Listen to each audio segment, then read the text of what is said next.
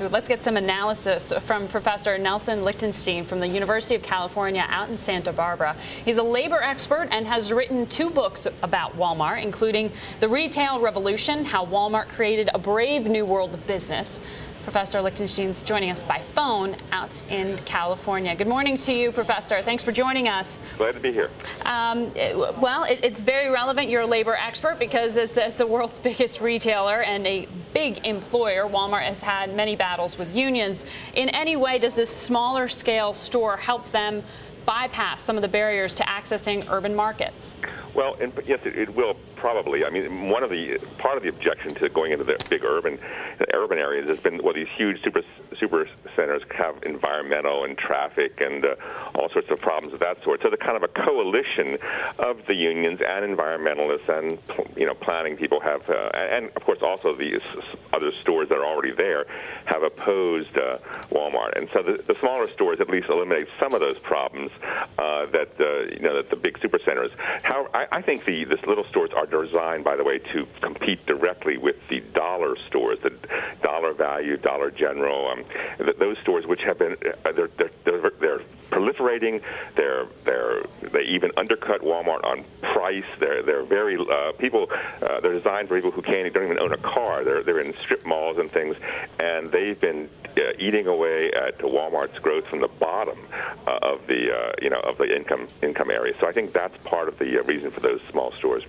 Professor, this is Scarlett Fu. Uh, Walmart depends on the big box concept for about three quarters of all of its U.S. locations. I wonder when we talk about these building permits to create these smaller stores, what took the company so long to diversify from that supermodel concept?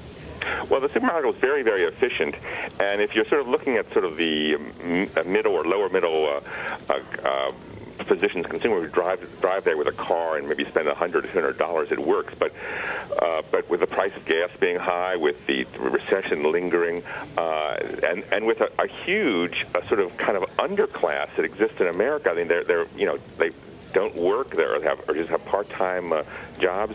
These smaller stores, which are which are you know dollars, things would be a dollar in these smaller stores. I mean, there's this market there that Walmart has to, to try to tap. Uh, it hasn't worked in the past, by the way. They've had these smaller stores around. They haven't worked. And apparently, and Tesco tried it in Los Angeles, and apparently their effort ha- isn't isn't being uh, a, a, big success either. So it's right. it's problematical whether this is going to actually work.